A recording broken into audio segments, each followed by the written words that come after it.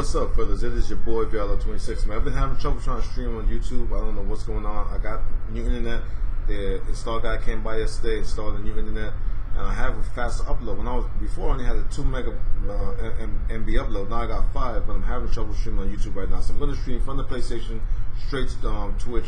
That's why I got my green screen behind me. So guys, come over, click down in the Twitch, um, in the Twitch icon in the description, and I'll see you guys over on Twitch, man.